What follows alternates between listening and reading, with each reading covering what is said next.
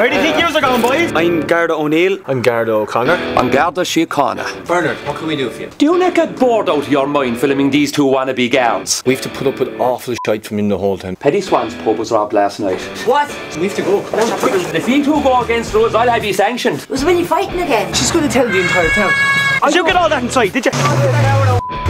What's going on? Swans, there's someone on the roof. And I'll jump! There's some things this job just can't prepare you for. Feckin' jelly babies. This place is cursed. I'm Garda Michelle Lynch. Turn the freaking thing off! And that Egypt is the sign of bad things to come.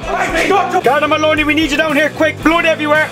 Over. Boys, get in the car. I'm Shifty from Coolock in Dublin. My name's Dunlop because I fell off a barn roof. We're a Garda station, not a garage. The right man's on the job. This is our local. Shut the feck up! Not another word, or I'll lock you in the cell. And I work with a bunch of cowboys. Are you thinking what I'm thinking? Barely remember a fucking thing. You two don't need to worry your little Garda hats off. This kind of shite wouldn't happen up in Dublin. When life gets confusing, it's time to start boozing. I'll run that camera up your Get the feck out of here. This way, boys. Knowing you two, you probably stole them.